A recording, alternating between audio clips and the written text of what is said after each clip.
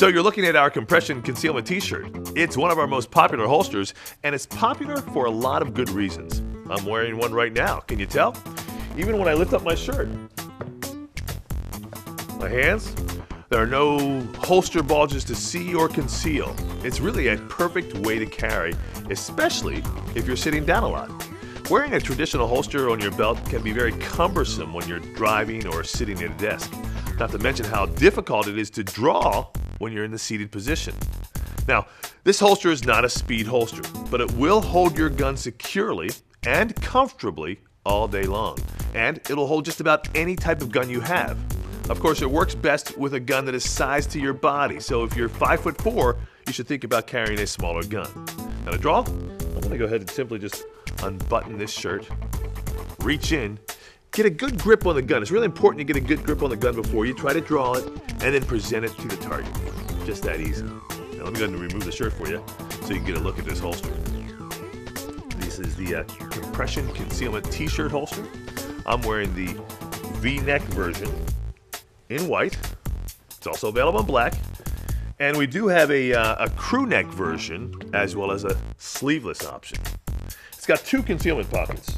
One over here for the gun. I'm to go ahead and I'm carrying a, uh, a Glock, a mini Glock, Glock 27. Basically just going to open up the pocket, put the gun in, and there it is. So there's one on the left side for right-handers. There's also another concealment pocket on the right side for left-handers. And then on this side, if you're not carrying a handgun, you can carry a spare magazine, or even your wallet, or a passport, or money, or even an iPod on this side. Not a bad option. It's really, uh, this shirt itself is probably one of our best concealment ho- holsters because it keeps the gun off of your belt. And it works when you're wearing basically any type of clothing. You don't have to wear a belt. You can wear gym shorts, or you can wear uh, sweatpants, or you can wear a bathing suit, as long as you have something to cover it. And it will work when you're wearing a t-shirt or a sweatshirt over top of it. So I'm gonna go ahead and put this sweatshirt on.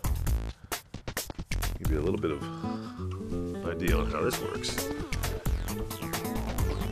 So basically, just go ahead and cover. You can see from here. And then to draw, just gonna lift the shirt up, get a good secure grip on the, on the gun, and then draw. Present to the target.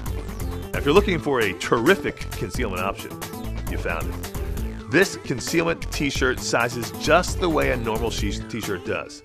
So just order the size you normally wear. I'm Lenny Magill.